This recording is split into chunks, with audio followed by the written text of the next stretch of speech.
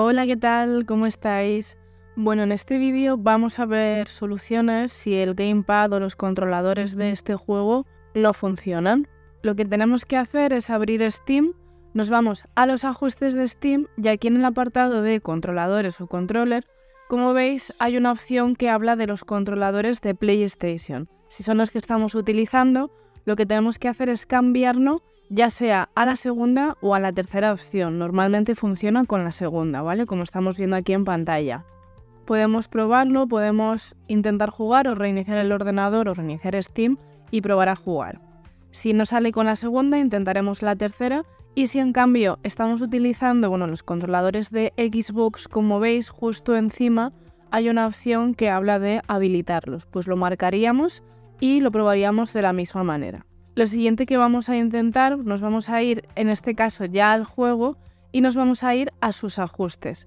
Aquí como veis también hay una opción que pone controladores o controller. Y lo que tenemos que hacer es cambiarlo a deshabilitado, ¿vale? Probablemente lo tengáis habilitado, lo vamos a cambiar a deshabilitado, vamos a reiniciar el juego y vamos a probarlo. En caso de que esto no funcione, también podemos intentarlo con esta tercera opción, ¿vale? Que es eh, Steam Input habilitado. También vamos a probar otra cosa y es que cuando abrimos Steam, como veis en la parte superior, hay un icono que simplemente, bueno, es como para abrir Steam en pantalla completa. Bueno, pues vamos a clicar aquí y vamos a intentar iniciar el juego de esta manera, teniendo Steam activado de esta forma.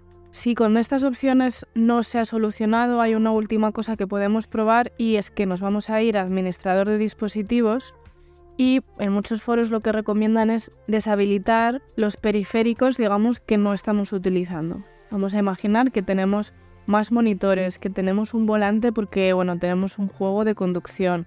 Cualquier tipo de periférico que en este momento no estemos utilizando, simplemente lo deshabilitamos. Es tan sencillo como botón derecho, deshabilitar dispositivo.